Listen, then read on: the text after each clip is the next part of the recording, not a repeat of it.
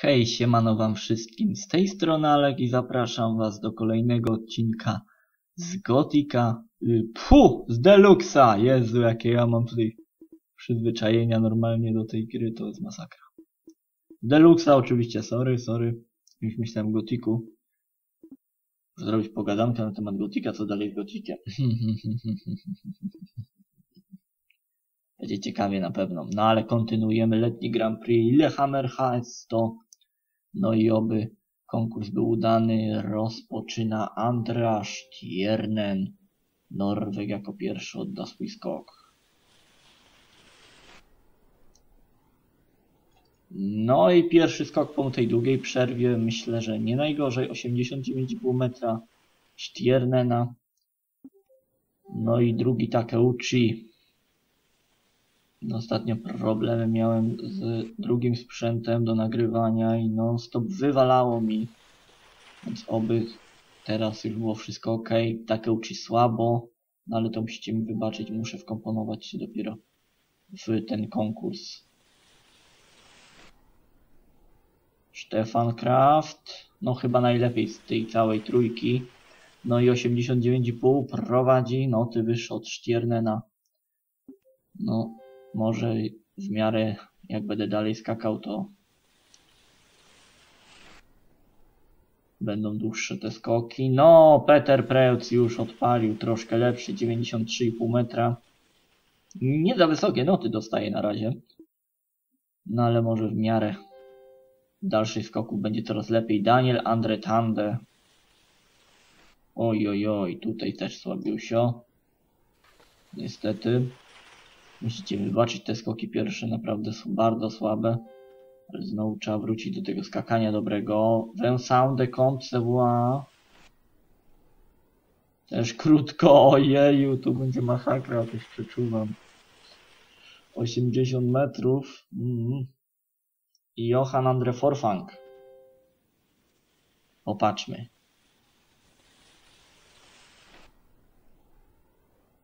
Przeleci tą myszkę chyba tutaj. Nie mogę się przyzwyczaić, bo tam miałem inną myszkę i teraz tutaj jest problem. Mackenzie Boyd Klaus. Na razie słaby początek. Ale może w miarę skoków się rozkręci. Jest dobrze. 92 metry, drugie miejsce tylko za Peterem Preucem i przed Stefanem Kraftem. No i kolejny Norweg, Robert Johansson. Norwedzy jak zawsze lato słabił się. Zobaczymy co będzie zimą. No Johansson nieźle prowadzi, mimo że te noty nie są dobre, ale 94,5 metra wystarcza na prowadzenie. No i Jana. Fin jeszcze skacze, robi to dla fińskich skoków. No i skacze nieźle. Te falowanie nart w powietrzu nie za dobre i trzecie miejsce przez to. Bo nawet myślę tam prowadzenie przy dobrych notach byłoby możliwe. No i drugi z Austriaków, Clemens Eigner. W poprzednim roku potrafił wygrać letnie Grand Prix, a w tym sezonie słabo. I teraz 93 metry, niskie noty. Tak jak, tak jak i poprzednicy. I czwarte miejsce. Zobaczymy. Andreas Kofler. Ciekawe jak daleko Kofi skoczy. To jest też wielka niewiadoma. No i to jest słaby skok. Kofler, no zimą słabo, tutaj też słabo. No nie wiem, czy to już nie jest koniec kariery dla tego skoczka. No i Wojtek Sztursa.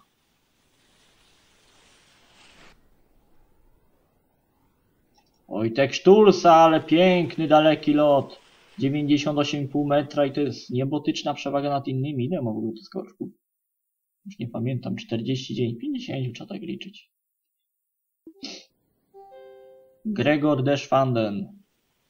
Zobaczymy ile reprezentant Szwecji skoczy. No nieźle chyba to wyglądało. 94 metry, ale noty kiepskie. Czwarte miejsce za Honenem. No i pierwszy z Amerykanów Michael Glasder.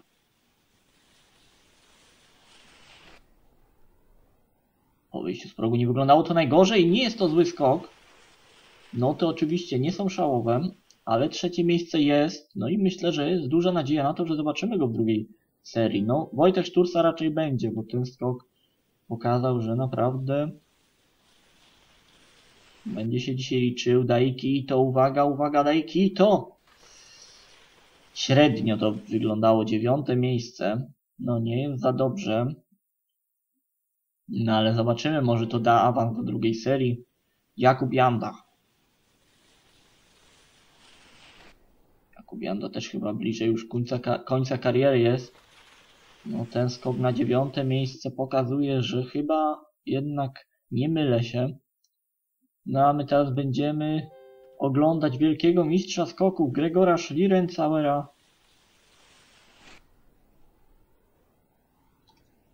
No i to też jest pośredni skok. Czwarte miejsce mimo wszystko jest.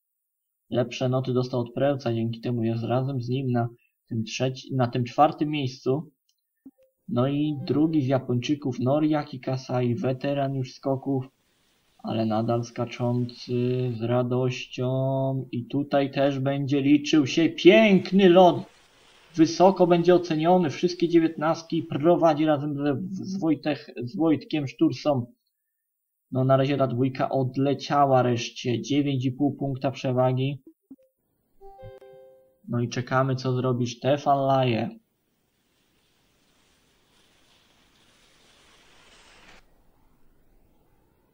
Jest chyba nieźle jest dobry skok i także Laje. 97 trzecie miejsce. No może zaczną się coraz lepsze skoki. No my czekamy na Polaków i Maciej Kodusz jest pierwszy z nich. Ale to nie wygląda za dobrze i jest krótko. Mała skocznia, no powinno być to zaleta Maćka, ale jednak 15 miejsce, no i raczej nie będzie awansu, nawet jest za kraftem. To jest bardzo słabo. Markus Eisenbichler, reprezentant Niemiec. Na razie laje nieźle, a jak on? Również nieźle. Ta skocznia jest taka specyficzna, ale 95 metrów, czwarte miejsce. No i myślę, że ta czwórka może spokojnie już żyć awansem do drugiej serii. Reszta, no do Glasdera myślę, że tam jeszcze nie muszą już narzekać. Kenneth Gangnes. Kenneth, no słabo. Niestety myślałem, że ona, ja, ona akurat skoczy daleko. Razem z Maćkiem są na 16 miejscu. Jest to ciężko. Bardzo ciężko tutaj będzie. Klemens Murańka.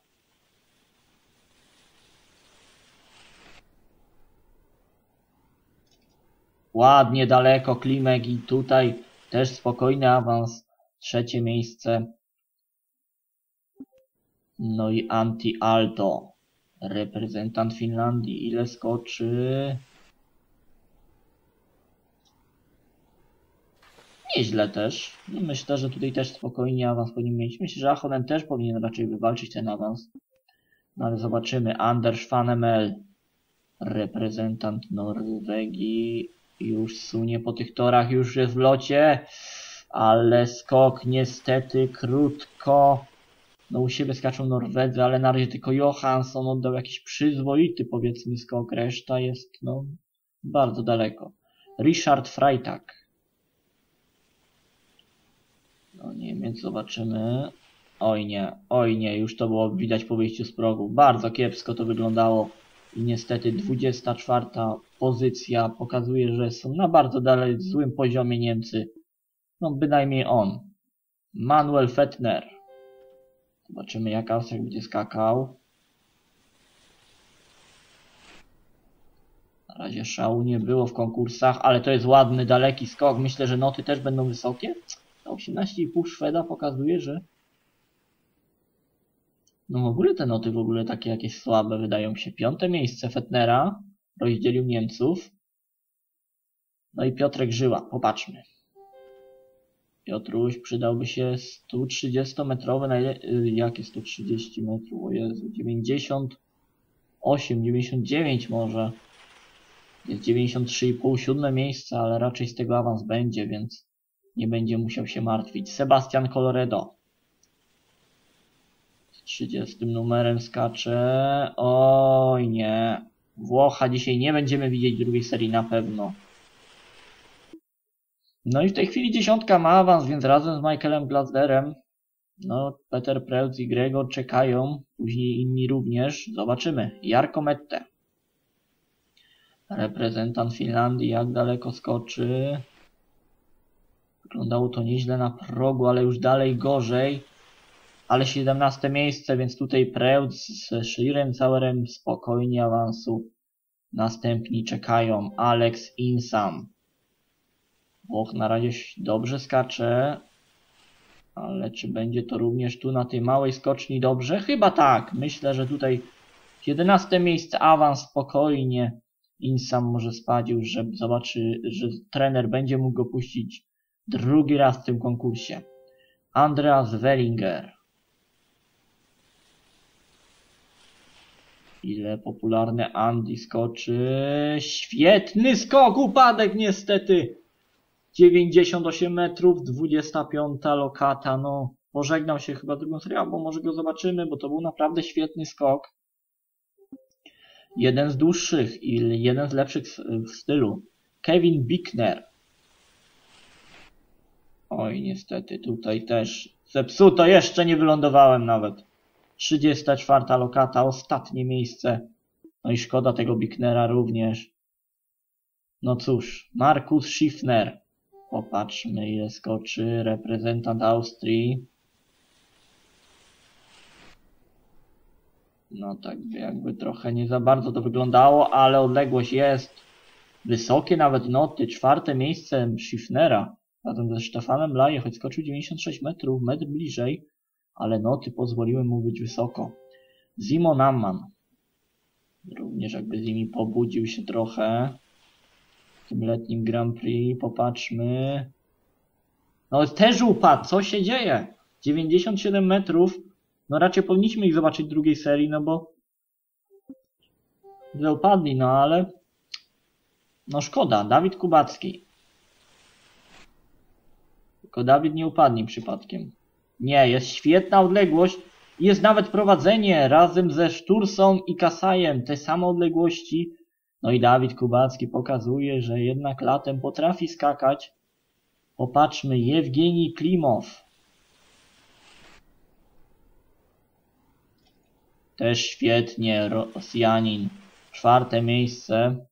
Tuż za tą trójką. No, robi się coraz ciaśniej.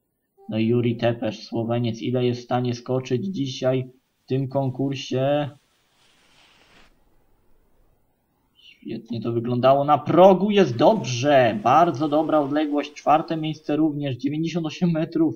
Pół punkta lepsza nota od Klimowa. No i teraz rewelacja Japończyków. Kento Sakuyama.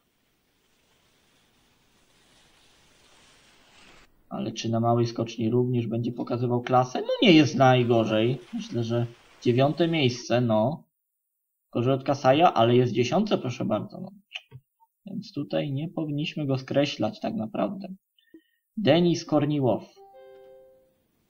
Kolejny Rosjanin, Klimow i on naprawdę dobrą dwójkę ma w tej chwili trener Rosjan i to jest dobra odległość również Korniłowa. Szóste miejsce, więc dwóch Ro Rosjanów jest w dziesiątce. Naprawdę dobrze to wygląda. Stefan Hula. Popatrzmy ile Stefek skoczy.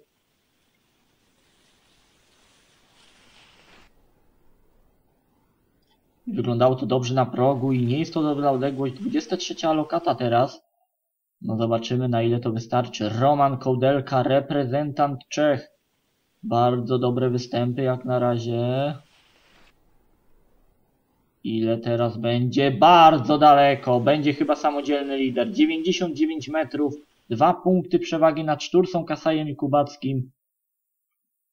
Więc Czesi naprawdę nieźle. Domen Preutz, zobaczmy. Słoweniec jak zwykle w szpicy jest. I znowu daleko i upadł! Niewiarygodne. 99,5 metra, jeszcze dalej. Ale raczej go zobaczymy w drugiej serii tą odległością. Karl Geiger. Ile skoczy reprezentant Niemiec. Dobrze to wyglądało na progu. Jest dobra odległość i Geiger również będzie się liczył. 13, ale myślę, że tutaj nie, to nie są takie duże straty, żeby nie można było tego odrobić. No i rewelacja Estonii znowu, Martin Omme.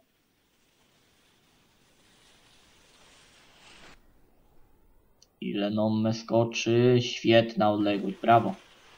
Z 97,5, bardzo dobre noty, siódme miejsce. No i Estończyk rozdziela dwóch Rosjan. No i Kamil Stoch. Dobry występ przydałby się Kamilowi. Jest świetny występ Kamila. W tej chwili prowadzi o pół punktu przed kołdelką. Proszę bardzo, Kamil wraca na właściwe tory. No i Misia Alhajbek. Zobaczmy.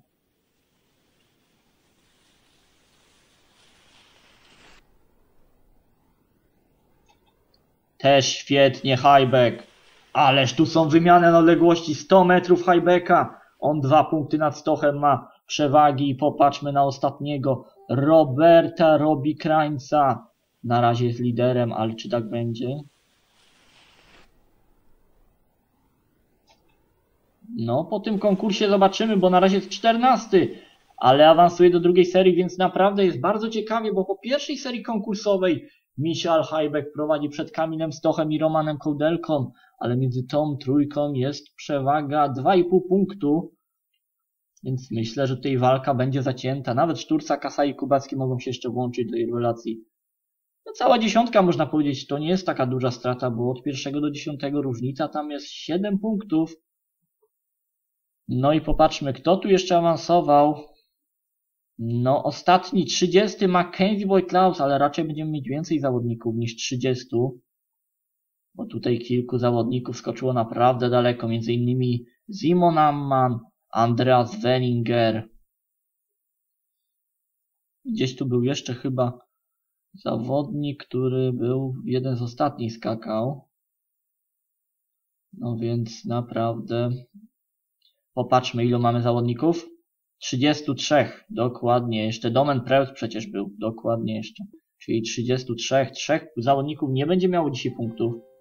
No jestem ciekaw kto. Simon Amman rozpoczyna drugą serię konkursową. Oj, będzie daleko. Ale znowu upadł. Niewiarygodne. To już musi być naprawdę pech. No przez to, no może punktów nie zdobyć już niestety. Andreas Wellinger, popatrzmy. No to jest pech niestety dość duży. No Wellinger już wylądował, ale to już nie jest ta odległość. No 97, metr bliżej no. No i może będą z tego punkty. Domen Preutz, popatrzmy. On skoczył 99,5. No i dalej mimo wszystko highback dzisiaj. Stuwa, a on skacze teraz 98,5. No i tutaj ta dwójka może punkty zdobyć. Bo Mackenzie musi skoczyć równie daleko. A nie skoczy chyba tego. No tak na limicie będzie. No proszę bardzo, razem z Domenem Prelcem w tej chwili. Więc Domen już chociaż ten punkt ma. Stefan Hula.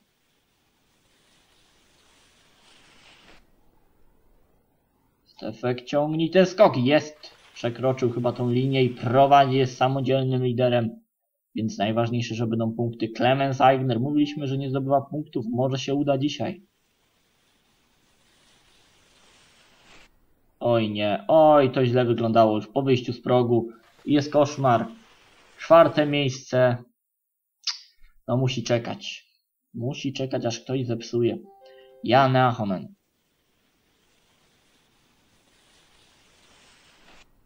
O Jachonen, wyjście z progu świetne i ten skok jest świetny. Brawo. 99 metrów, wysoko oceniony. Prowadzi z dość dużą przewagą, no i będziemy patrzeć co inni pokażą. Gregor Deschwanden między innymi.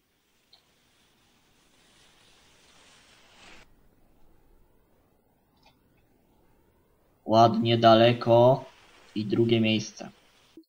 No Stefan za blisko skoczył, no ale Widocznie małe skocznie mu nie leżą za bardzo. Peter Preutz. Chyba będą w końcu punkty dla Petera. Świetna odległość Petera Preutza. 100,5 metra najdłuższa odległość całego konkursu.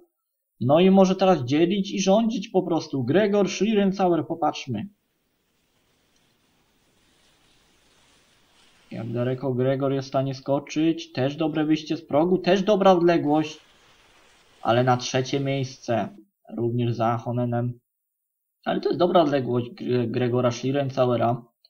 Widać jakiś postęp już jest. No i Alex Insam, popatrzmy.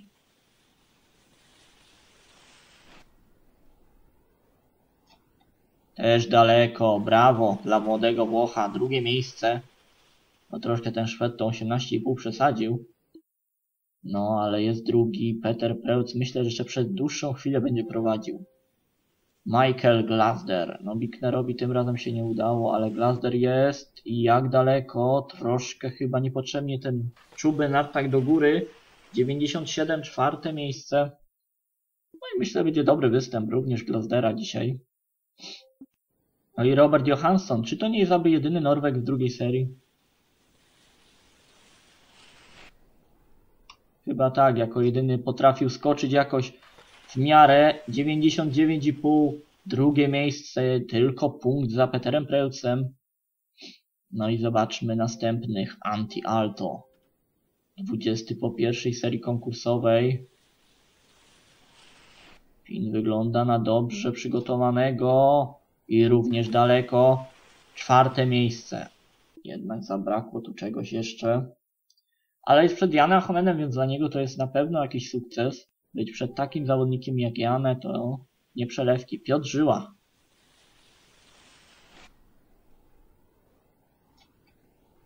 Daleko Piotrek. Będzie prowadzenie, jest prowadzenie przed Peterem Prełcem. No, zmienił go w końcu. Polak. No i Markus Eisenbichler. No może Piotrek trochę dłużej się utrzyma tym prowadzeniu, oby. Markus. Bardzo dobry skok. Mogło być dalej siódme miejsce. Spadek niestety będzie. Szkoda. No ale no jakoś musi to prze przeżyć.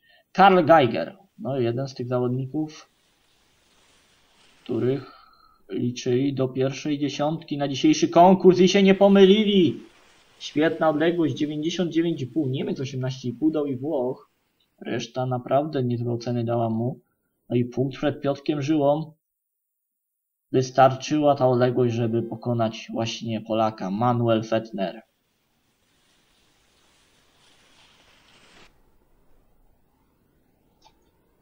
Manuel chyba prowadzi. Dokładnie tak. Nawet 20 się pojawiła od Szweda, ale bardzo wysoko 19,5. Trzy oceny zostały. No i jest 3,5 punkta przed Karlem Geigerem. Popatrzmy na rewelację japońskich skoków w tym, w tym sezonie letnim Kento Sakuyama. Oj, chyba wcześniej wyszedł z progu. Ale ciągnął do końca i brawo dla niego za to. Dziewiąte miejsce. Może nie będzie takiego dobrego występu jak te poprzednie, no ale zawsze jest w tej 30, zdobywa te punkty. Może być zadowolony. Robert Kraniec. Popatrzmy.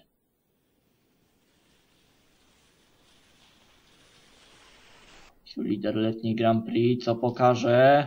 Bardzo ładny skok. I prowadzi. Prowadzi przed Fetnerem. Zmieniają się ci na pozycji lidera teraz cały czas. No i Stefan Laje. Ile Niemiec skoczy? Myślę, że to nie było najlepsze wyjście z progu, ale ległość jest dobra.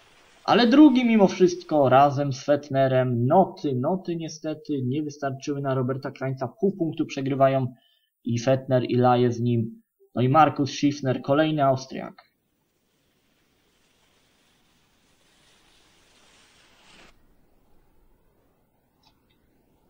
Na pewno nie będzie na prowadzeniu. Czwarte miejsce, ale Schiffner jest na pewno zadowolony. Kolejny dobry występ Austriaka pokazuje, że naprawdę wpina się w tą czołówkę Austri Austriaków. Klemens Murańka.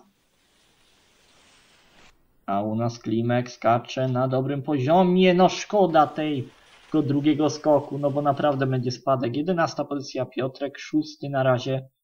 No jeszcze został Dawid przecież i Kamil. No ale szkoda. Denis Korniłow. Dziesiąte miejsce Rosjanina. O, teraz chciałby na pewno objąć prowadzenie, ale tak się nie stanie. Będzie siódme miejsce. Myślę też dobry występ Korniłowa. razem Peterem Prelcem. Peter Prelc dzisiaj sporo punktów zdobędzie. No na razie Kraniec prowadzi, lider przedletniej Grand Prix. No i Martin Omme. Oj, chyba to chciał inaczej poprowadzić, ale mimo wszystko uciągnął ten jeszcze skok i prowadzi razem z Krańcem. Brawo dla Martin Omme. Przecież to jest jeden z tych zawodników, który również goni go. Jewgenij Klimow. Ósmy zawodnik po pierwszej serii. Popatrzmy. Chyba krócej, krócej. Jedenaste miejsca i szkoda. No ale też będzie chyba dobry występ, myślę, dla niego. Juri Tepesz. Popatrzmy.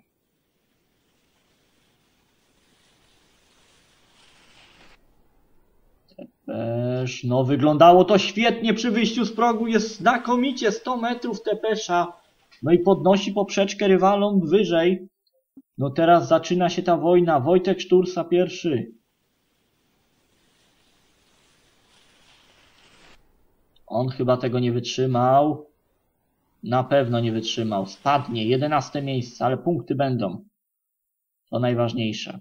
Noriaki Kasai. Popatrzmy. Czy lepiej wypadnie od Kento? Zobaczymy. No, tak średnio. 16 miejsce, no lepiej, ale nieznacznie. Dawid Kubacki, 101,5 na prowadzenie. 100 metrów wystarczy, ale z dobrymi notami. No Dawid też psuje. Oj, oj, coś się dzieje, plaga. Teraz zaczyna się 22 lokata razem ze Szlirem Sauerem. No i Roman Kołdelka. No Tepesz za chwilę może na podium wpaść już. Kołdelka skoczy, chyba obejmie prowadzenie Kołdelka czy nie? Zabrakło pół punktu, żeby wyprzedzić Tepesza. Pół metra myślę wystarczyło. No i teraz została dwójka. Kamil Stoch jako pierwszy. No Kamil, zwycięstwo byłoby naprawdę super. Ale czy jesteś gotowy? Chyba niestety nie. Szkoda. Dzisiaj dziesiąte miejsce w najgorszym wypadku. Dziewiąte razem z Piotrkiem Żyłą. No i został ostatni Michal Hajbek.